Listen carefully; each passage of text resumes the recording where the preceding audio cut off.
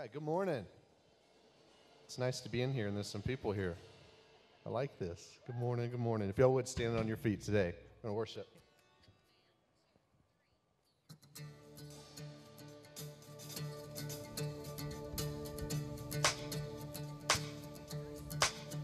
And I was buried beneath my shame. And who could carry that kind of weight?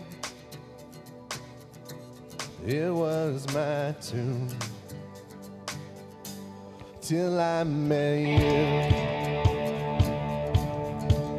And I was breathing, but not alive. And all my failures I tried to hide. It was my sin till I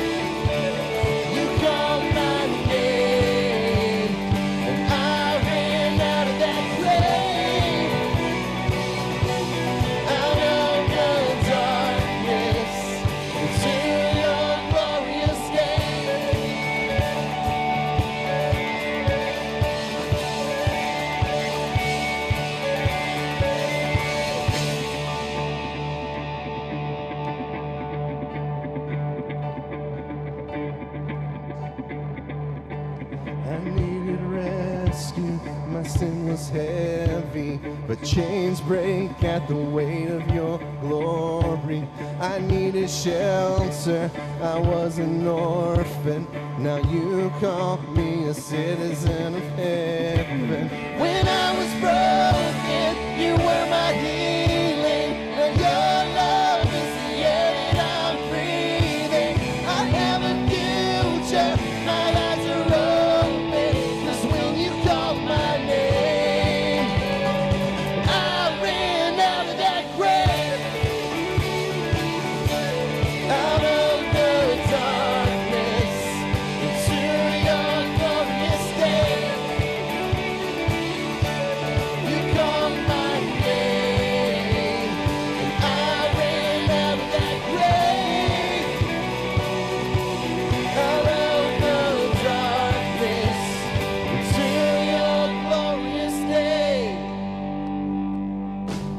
church.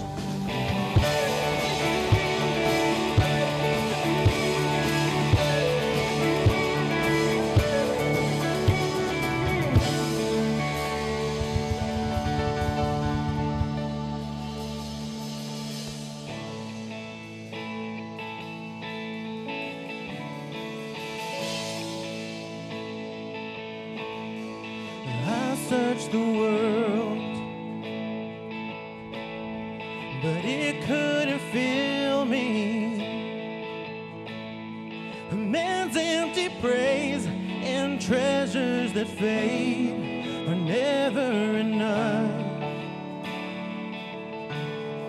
Then you came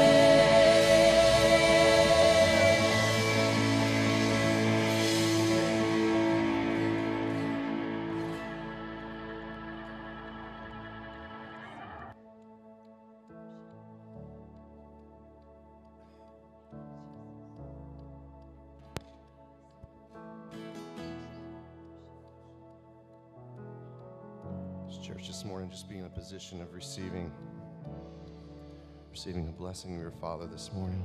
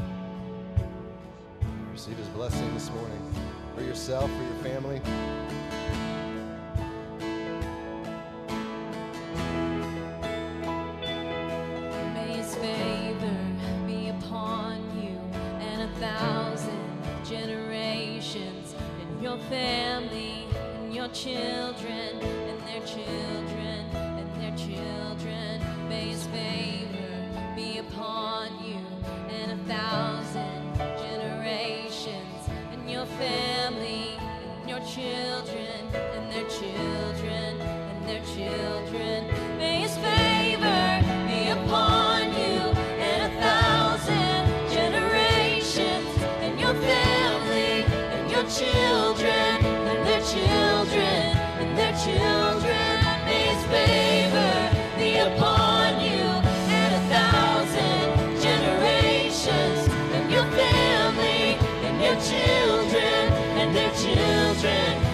children.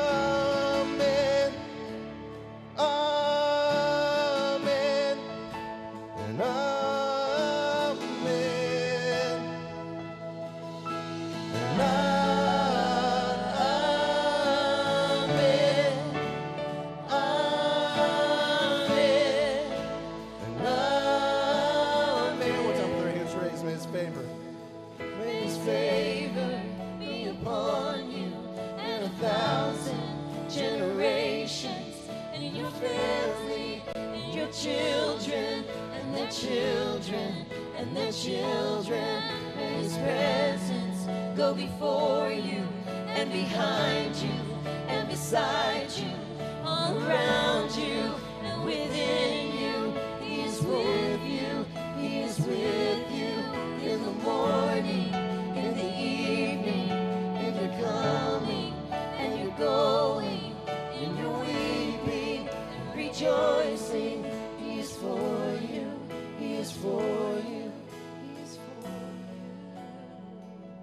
Amen.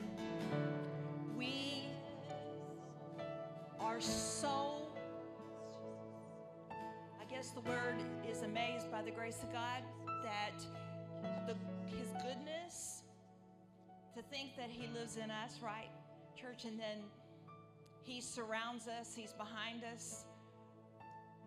Everything that we need, He has deposited within us. And so, whatever has gone on, I mean, this is uh, an amazing season that our country is in and all the things that are going on. But I believe that the peace of Christ is deposited into every one of his children. And as we walk through our nation, as we walk through our lives, that that peace proceeds us, goes before us, it's behind us, it's within us, right? And that's because of the Jesus is, that is in you. I want to pray for you this morning, those of you who may be viewing from home. We have two, two church families right now. We have church at home and church at church. So we want to pray for you, whatever's going on, if you need healing in your body. Some of you are just hurting, and some of you are in a really, really dark place. Some of you are uh, in a place where you just need to know what to do. You need direction. Some of you need a job. So, whatever's going on, whatever you have need of, your Father is never caught off guard. He already knows everything about you. The scripture says He knows the hair on your head, right? I think He even knows which hairs have turned gray and which kid caused them to turn gray, right? He knows everything. Your act of faith is to acknowledge that you need intervention. You need Him to take care of this, this, this thing that He has deposited in you to come up out of you, right? So, whatever's going on, your act of faith today, we're not going to move around, touch people, but your act of faith, if you need prayer, whatever's going on, put your hand on your heart right now. Church family, if you're here in the building, if you see someone, you can stretch out your hand toward them. But let's pray, Father, in Jesus' name.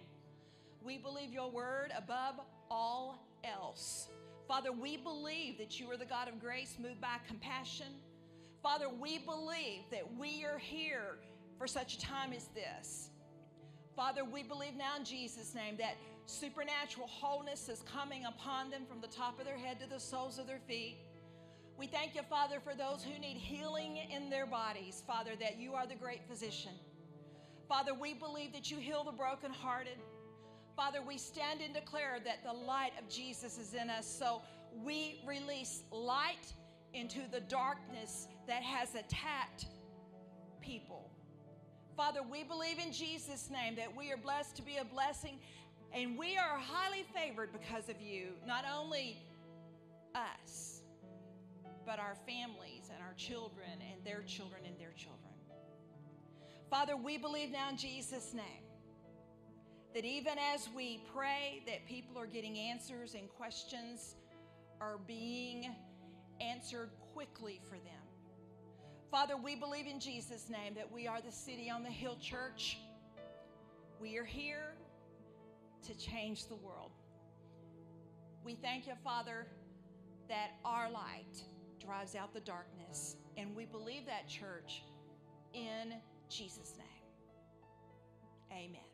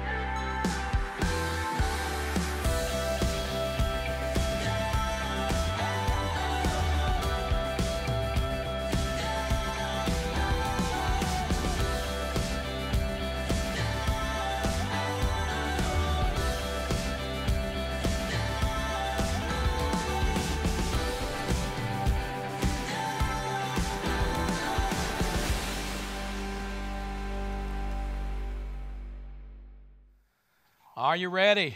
All right, church at home, let's dive into the Word of God. I hope you've enjoyed the service so far. And uh, I want to talk to you today about a topic that's certainly very relevant to what we've all been through the last 12 to 14 weeks. Uh, with the pandemic and certainly what we see in our nation. Uh, this week, uh, we see a lot of people, and I think we all can understand that we've all been under a lot of pressure. And you'll find this in your notes if you downloaded your notes from the app. We're going to dive in that weariness has a way of uh, affecting our decisions, our words, and our actions without us even realizing it. When we're under pressure, there's a tendency to get weary in well doing, there's a tendency to get tired, to get frustrated, frustrated, and that weariness becomes a filter that unleashes the pressures from the outside in to your heart. And we're going to talk about that in just a moment. Uh, we all think that we that we have it bad at times, and certainly there are people across our world that have, and, uh, and perhaps we even think that we, we don't have the strength to continue. So if you find yourself there, you find yourself weary, frustrated, uh, angry, uh, hurting, wounded, uh, physically under attack, I, I want to talk to you today, and I think that what I want to share with you is really going to help. So let's dive right in to the scripture. We're going to be in Hebrews chapter 12. We're going to sort of back up from chapter from verse 3 to verse 2 to verse 1. Very simple message today, uh, but I think it's really going to be something that's going to help you tremendously. So let's dive into the scripture. I'm going to put it on the screen for you now. Hebrews chapter 12, verse 3, out of the Passion Translation says this So consider carefully how Jesus faced such intense opposition from sinners who, an interesting phrase here, who opposed their own souls. How is it possible to oppose your own soul? We know your soul, biblically speaking, is your mind, your will, and your emotions. And we've used the filter of 2 Timothy 1 7. This will help us understand what they're saying here in this verse in the book of Hebrews.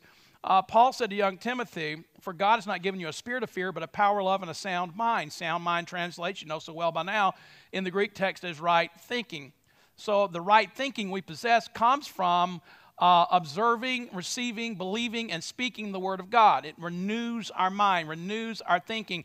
The Word of God becomes my filter when I'm under pressure. So when I allow the pressures to get to me and I get weary in that well doing, it's possible then for my wrong thinking to oppose my right thinking. And this is what the Hebrew writer is saying here. So, again, so consider carefully how Jesus faced such intense opposition from sinners who oppose their own souls so that you won't become worn down and the end result, cave in to life's pressures. So, here the Hebrew writer, uh, number one of your notes, gives tremendous insight in how to run our races well under pressure. And I want us now to back up to verse 2 and let's take a look at some of those steps that we can take. Verse 2, Hebrews chapter 12 says this looking away from all that will distract to Jesus, who is the leader and the source of our faith. Who's the source of your faith? Everybody say Jesus. I hear you. Giving the first incentive for our belief, and is also its finisher, bringing it to maturity and perfection. What? Your faith.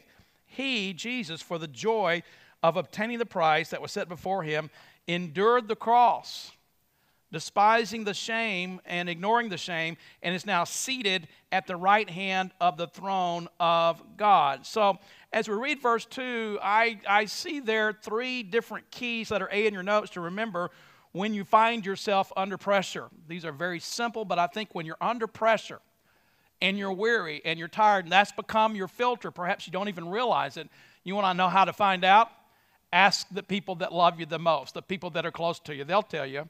There are many times that I look to my family, I look to my wife or my children and said, Hey, hey, hey, what do you? And they're like, and all I had to do is give me a look. And come on, you know, we all know, right? First thing that I gleaned from verse 2, number one, your notes there, when you're under pressure, is it is important to look away from all that will distract, to look away from the distractions, right? That's why we need the Word of God. That's why you need church at home. That's why those of you that are coming to church at church now, we need all of the focus on what God is saying about life to help us when we're under pressure. Let's go back to verse 1 in Hebrews chapter 12. Uh, at this time, it'll be on the screen in front of you. Having fun? I'm having fun. As for us, we have all these great witnesses, the Hebrew writer uh, uh, says, who encircle us like clouds. So we must let go of, are you ready? Every wound that has pierced us and the sin we so easily fall into, then, we'll be, then we will be able to run life's marathon race with passion and determination, for the path has been already marked out before us, right? So, very practical instruction here that when we're looking away from those things that are distracting us, it's bringing us to the point that we have to let go of our wounds, let go of these filters, let go of the fears, let go of the doubts, let go of the anger. There's so many people out there right now that are just angry at what's happened during the pandemic. To let go of the hopelessness, to let go of the expectations maybe we had for 2020 that haven't happened and are not going to happen at this point because we're in a marathon race. We're letting go of our agendas. They're all become wounds in our lives, and we have to let go of them all by faith. And we do it by focusing on the Word of God so that we can run the race that's marked out before us. And again, we're so used to here in America, when we face sickness and disease, we go to the doctor, we get a shot, we get an antibiotic, and we get well. Uh, flu season comes, typically December, January, February, it comes, it goes. We go get a flu shot before the flu season, and we don't get the flu. We believe God for our healing and our wholeness, and we walk in divine life and divine health. But this pandemic has been different. It is counterintuitive to everything we're used to seeing here in America, right? It's not something that's going away overnight, it's a marathon. We've had to shut down our economy, we've had to go home, we've had to change our lifestyles for weeks at a time, and it's going to be around for we don't know how long. Perhaps another year or two until the vaccine is developed, until the virus has had its time, until the hand of God has come on this planet to drive out the sickness and the disease and the curse of the plague of the coronavirus. That's why they call it the novel coronavirus. This is a marathon, and we can run that race in Jesus' name. Can you say amen? Amen. So I want to encourage you that during this time, when those filters of weariness come your way, the things, you know, it's like you find yourself saying, I hate this pandemic. I hate that I can't go and take the walk where I used to go walk. I hate that my kids can't go to school. I hate that it changed graduation. I hate that my vacation went away. I hate that I lost my job. I hate the stress. I hate what I see on TV 24 hours a day. I'm so tired of hearing about the pandemic. I hate that I'm sitting at home watching church at home when I'd rather be at church at church. we all have our hates, right? I hate Diet Cokes. I'd rather have regular Coke. I hate diet sodas. I don't drink diet sodas. In fact, I drink very little soda at all. And when I do drink a soda, it's not going to be a diet soda. I'm going to have the full strength, real thing Coca Cola in small amounts. But we all have our hates. I hate coffee. I don't drink coffee. Yes, I'm 61 years old and I never grew up. We all have our hates. Here's one of my best. I hate lines. I think you've heard me say it over the years. I do not like lines. If I go to a restaurant and we're there and we find out it's going to be more than a 15 minute wait, usually I'm off to another restaurant. Many times I've found, my family's always pointed out that by the time we drive to the next restaurant, we go and we press in through the crowd and we leave our names at the next check in station, that we've already killed the amount of time that it would have taken to get the table at the last restaurant. But that doesn't matter. I hate lines. You know, and here's why because for 16 years I was a youth pastor. For 16 years I took youth groups to Astro World before they tore it down, and we stood in lines. I took them to Splash Town. I took them to all kinds of amusement parks. I took youth groups to Disney World, where we flew halfway across the country to go do what? Stand in line with lots of people that are hot and sweaty, right? Who are weary, who have all kinds of filters. And then I spent my, half my life at the Schlitterbahn, taking youth groups from this church to the Schlitterbahn, where we stood in line. So back when my kids were young as teenagers, they reminded me, uh, Dad, listen, you, have taken your youth groups all these places. You've never taken us to the to Disney World. You've never taken us to many water parks, and we'd like to go to Schlitterbahn. Would you take us to Schlitterbahn? And I felt guilty, and I agreed to do it. They both got to invite a friend, and we went off to Schlitterbahn that day. I'll never forget it. Drove over to New Braunfels, Got to the park. I know the park very well. Has the old part of the park on the Comal River, where it has all the natural water and the inner tubes. And by the way, the inner tubes are great. Now, so, social distancing, the place to be. Put the inner tube around you, and it is a great six foot bumper. It keeps people away. And uh, just no charge for that. And, and, and, and so, that's right, I know you're laughing, having a good time. Put the taco down. Put the breakfast taco down, would you please? We're in the Word of God. This is the house of God. It's your house, but it's still a house of God. Having fun, right? And, and so, and so we, we get to Schlitterbahn, we go to the old part of the park. Of course, got a new part of the park. And, and I like the old part of the park, but my kids are teenagers. Dad, we want to go to the new part of the park because they got this new ride. Now, this is a long time ago. They've got this new ride called the Master Blaster, and it's really cool. You get on like this, you get on this like this, this raft, and, and, and it takes the, the water goes uphill like a roller coaster, and then it goes down, and it's the largest one, the only one in the whole world, and we've got to go there. Of course, I knew about the Master Blaster because I do water parks for a living. I've got a PhD in water parks. Come on.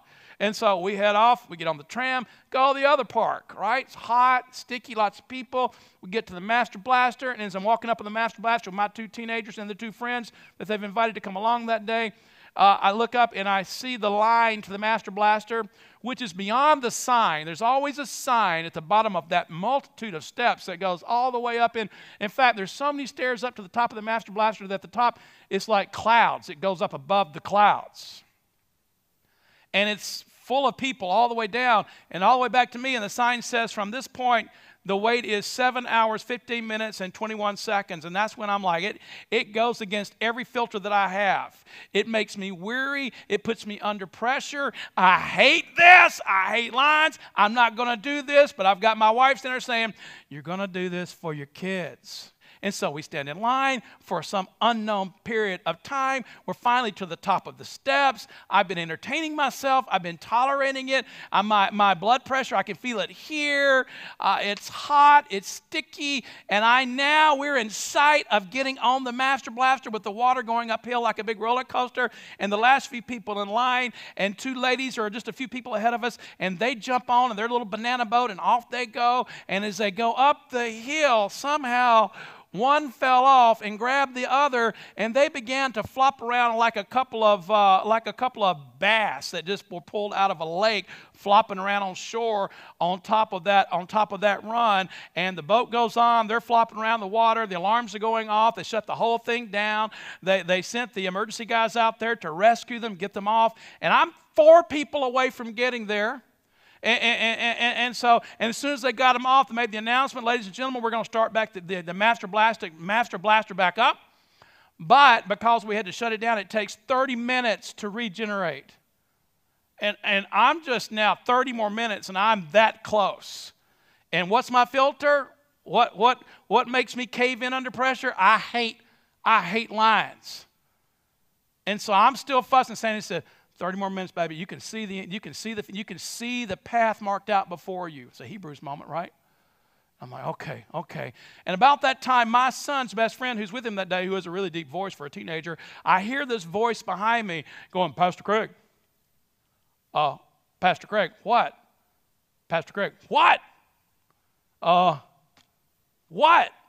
Uh, well, uh, your, your, your swimsuit is, uh, it's got a rip. I'm like, what? Uh, yeah, uh, Pastor Craig, your, your suit, your swimsuit's ripped. I'm like, well, where? He said, well, in, in back. And, and now, now, here's the thing. This is an amazing moment in my life, right? I'm major under pressure, and, and I'm having to communicate church at home. For church at church, this is easy because I would be doing all the motions and doing this in person. But now, for you guys, just especially for you, I have a prop of me at that moment in my life. Here I am, right? Come on, can you tell? This is me. This is my swimsuit, right? Uh, this is my, my pink skin, right? That's really pink and red at this point from, from all of the suntan, the sunburns going on. And, and, so the first thing I did when I heard my son's best friend uh, say I had a rip in my suit, that's the first thing you do, right? You, you want to know where it is because you've been outside all morning long with all kinds, thousands of people, and they're all behind you in line. And this kid's waited two hours and whatever amount of time we've been in line to tell me I've got a rip in my suit. I think it must not be any big deal, or he had said something before now. So I said, Well, where is it? He said, Well, it's in back. So I began to reach back here, and I, I, I, I found I found the rip. It's, you know, you got your main seam in your swimsuit that goes here, down to here, here into the abyss, you know, here into the abyss. And so as I began to reach for my suit, I, felt the rip up near the waistband, but it just, and I kept feeling, kept going, and it kept going, and it kept going, and it just, the rip was all the way into the abyss. And I'm thinking, oh, oh, that's not good, but maybe it's not too bad. I mean, he didn't say anything till now. What's going on? And so as I reached up, I, I tried to sort of feel how wide the rip was, and only to discover that not only did it go all the way down the main seam into the abyss, but it also was from here all the way over. Right? For, for demonstration purposes, here, all the way over. To where now it's not just a rip, it's like a flap. Can you tell? It's like a, it's completely flapped all the way open, and I am like, well, I'm exposed to thousands of people at the Schlitterbahn. And when I realize and I'm feeling for my suit and it's not there, I mean, not there at all, it's just completely gone. And I've been in line all this time and I'm thinking, my first thought is, son, did you not, surely, surely you noticed before now that it's flopped all the way open. But no, and it was at that point that I caved in to life's pressures. I looked at Sandy and I yelled at her, I am done. I am leaving. I am out of here. In fact, here is, here is the artist rendering for what I look like at that moment. Here I am, right? That's, that's me. I am done. I am out of here, gone. And she goes, Well, where are you going? I said, I don't know, but I'm getting out of this line. And, did, and then here's what my wife said. Here we go. She says to me, I brought you a spare swimsuit. Now, I hate that. Because, you know, when you're caving in under pressure, you just want to enjoy the moment, right? You want to have a fit of carnality. And when somebody dumps a load of grace, unmerited, undeserved, unearned favor on your life, and that's what Sandy's doing this morning, what wife, what woman brings an extra swimsuit for their husband? I'm like, well, well where is it? Well, well, I don't have it on me. It's in the car. And, and now I'm, again, I'm upset. Well, Sandy, you, you, do understand the car is not in this park, it's in the next park on the other side of the park, uh, in the parking lot, and I'm going to have to go on a tram like this and, and, then go all the way to the car to put it back on. She goes, Well, I can't help you there. And so I just stormed off. And as I'm walking toward the car, that moment of grace in my life is beginning to calm me down. And my anger and my wound, I'm beginning to let go of the wound. And, and because of Sandy's grace in my life and think clearly again. Now I'm trying to hold up my suit. I've grabbed the flap, pulled it across, and I'm trying to hold it up so that nobody sees me. And after a while, I finally decided nobody even cares. Half the park is barely clothed anyway, and so I just let it flop open and away I went. Nobody ever said a word. All the way to the car, put on my suit, had a great day. Did you hear me? You got to let go. That's a crazy story, one of my favorites. I hadn't told it in a long time. Never told it with a prop. You got to let go of every wound. Everybody say, I'm letting go of every wound. If you're sitting with your family, look at them and tell them, I'm, I'm telling you the truth. I know you don't believe it, but I'm telling you the truth. Okay? Second thought when you find yourself under pressure is this it is important to remember the source of our faith, the one who gave us the first incentive for our believing and our speaking. Jesus said in John 10 10, I am come that you might have life and life more abundantly. I love Paul's words in 2 Corinthians chapter 5 verse 18. He said this when you find yourself under pressure, and God has made all things new and reconciled us to himself and given us the ministry of reconciling others to God. That's drawing people back to God. That's our ministry. That's our life. That's the grace we give. Verse 19 says, in other words, it was through the anointed one that God was shepherding the world, not even keeping records of their transgressions. Transgressions simply, simply means those, those sins and bad decisions and poor choices in your life. He doesn't keep records and He has entrusted to us the ministry of opening the door of reconciliation to God. We are ambassadors of the Anointed One who carry the message of Christ to the world as though God were tenderly pleading with them directly through our lips. So we tenderly plead with you on Christ's behalf. Turn back to God, the scripture says, and be reconciled to Him.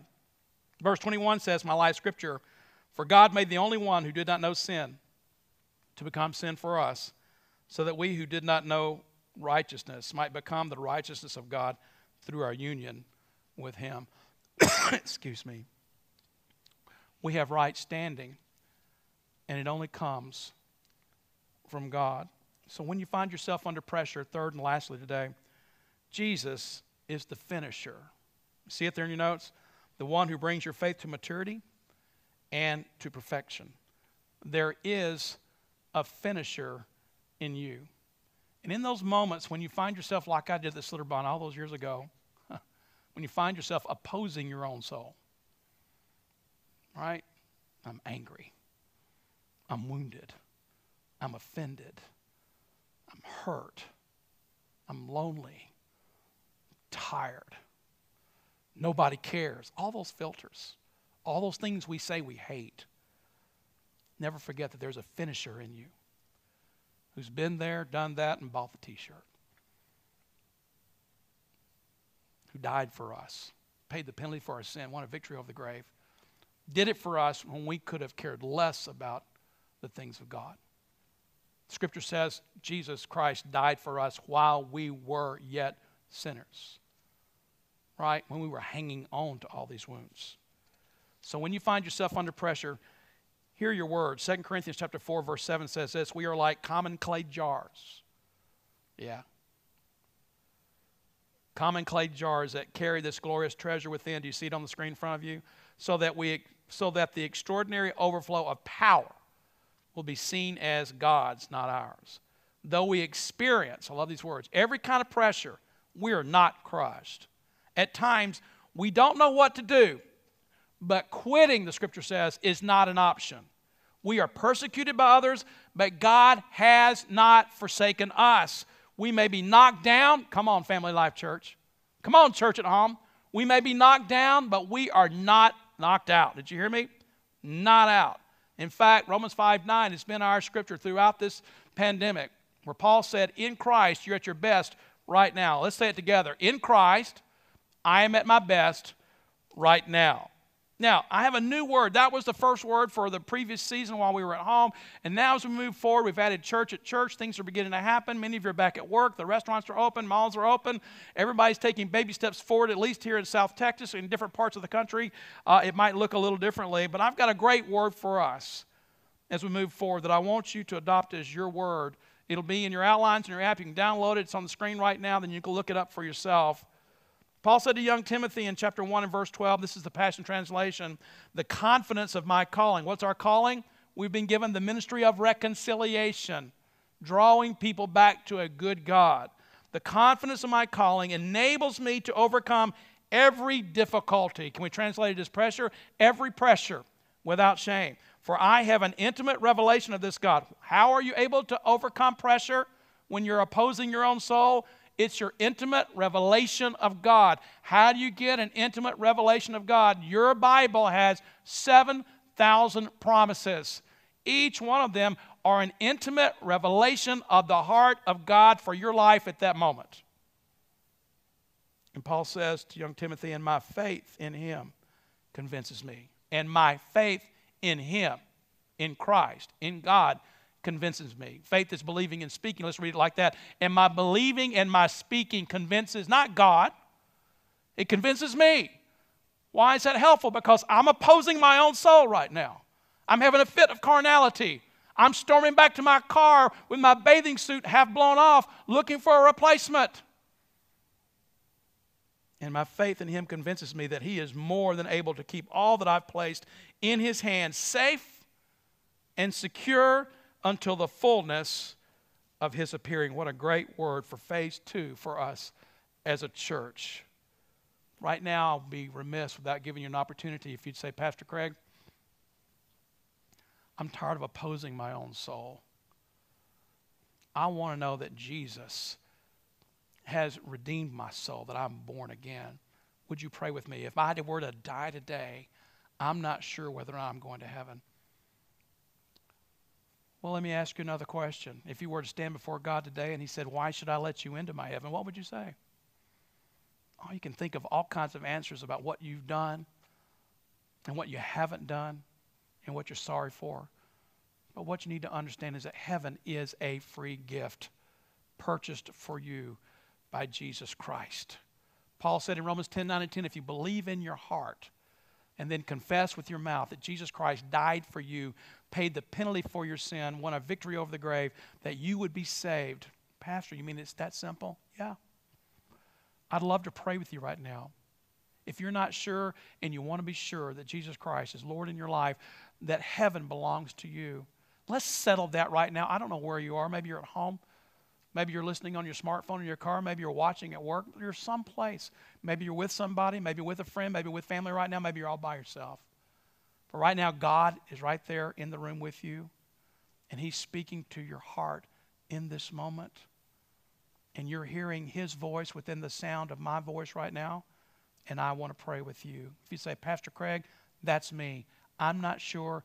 I want to be sure. Would you pray with me? Wherever you are right now, would you just put your hand over your heart and pray this prayer? Repeat it after me out loud and make it your prayer between you and God. And as you do, God is going to do something wonderful in your life. Everyone say, Father, in Jesus' name, I believe Jesus died for me. He paid the penalty for my sin. He won a victory over the grave. He presented His blood as a sacrifice for me. I received Jesus as my personal Lord and Savior, from this moment forward, I am born again. I am going to heaven. Thank you, Father, for loving me so much, to give me the free gift of eternal life through Jesus Christ, my Lord and my Savior. And it's in Jesus' name I pray. And everybody said, Amen and amen. We're so excited about your decision as you've been watching Church at Home this weekend. I want to encourage you if you need help, you can call the church office. The number's been on the screen throughout the service. Also on the My FLC app on your smartphone. If you haven't downloaded it, be sure and download it. It's free of charge. But on the app, go there and click the button that says Next Steps. That will put you in contact with us, and we'll be able to send you materials that will help you grow in your faith while you're watching Church at Home this weekend. Amen. Did you enjoy the word? Great word. We're not going to quit. We're going to recognize when we're opposing our own souls. Am I right or am I not?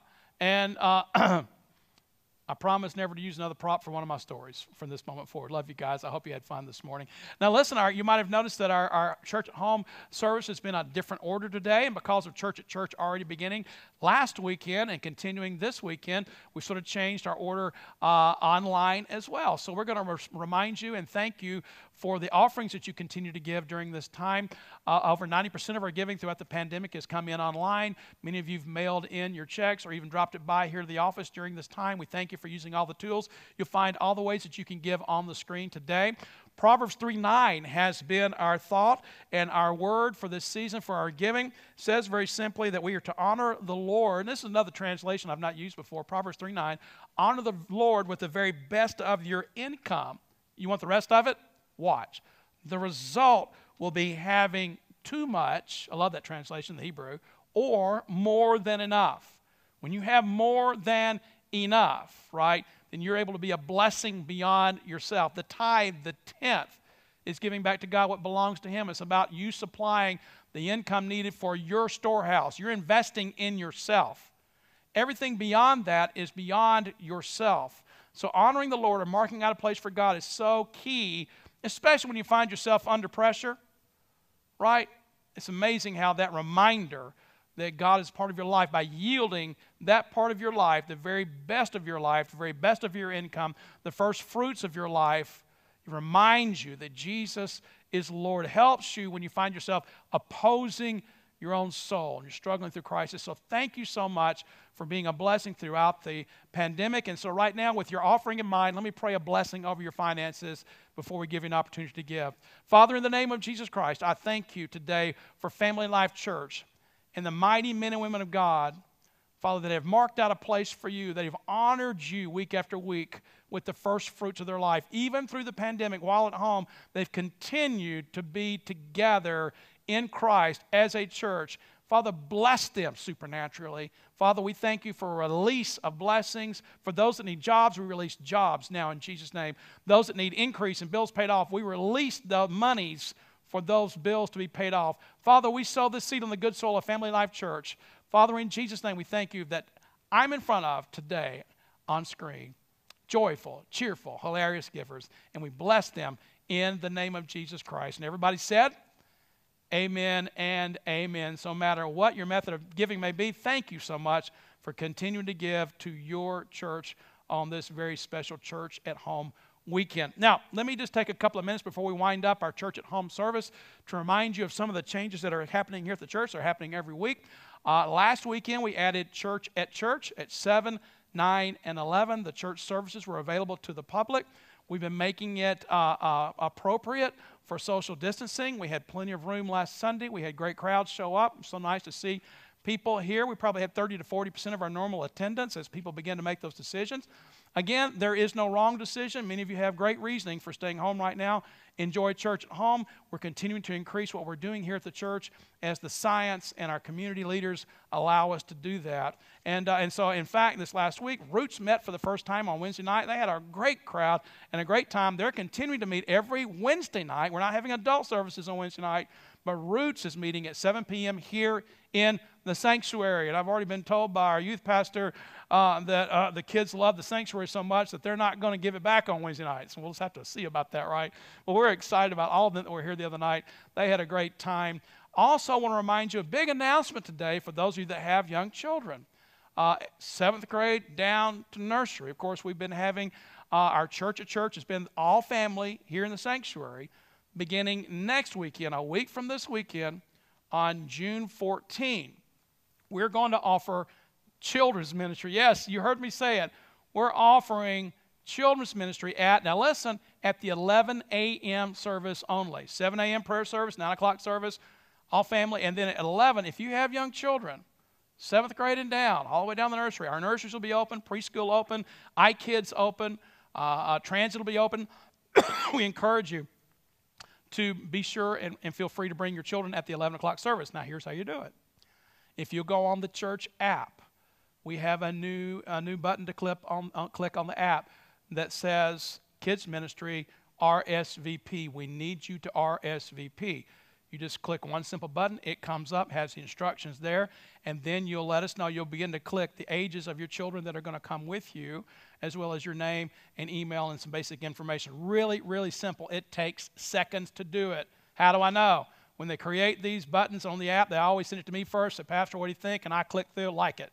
So it's really, really simple. That will let us know how many children we're going to have at every age level in every classroom so that we can keep them appropriately social distance and not exceed our capacities in our rooms as well as spread out to other rooms as is necessary. So it's a bit of a complicated process, but we've got it down. We've been working on it for a while. It will be safe for your children and uh, and all the instructions are there on the app. Be sure and take a look. If you're not, if you don't have the app, if you'll call the church office, that number will be on the screen again for you right now. Call the church office this week, and you can RSVP the number of children that you're bringing to the 11 o'clock service. And uh, as well as they'll answer any questions that you might have when you call the church office. So, two ways you can RSVP call the church office or go on the MyFLC app and you can RSVP for the 11 a.m. service on June the 14th for our very first Sunday to offer children's ministry. So we're very excited about that Sunday. So lots of things changing. We're continuing to offer this weekend, of course, the church at home, and then next weekend, church at church with children's ministry at 11 a.m., and then also the 9 a.m. and the 7 a.m. service. So lots of great things are happening. We love you guys. We trust that you are at your best right now in Jesus Christ. Be blessed and be a blessing and draw people to God in your lives.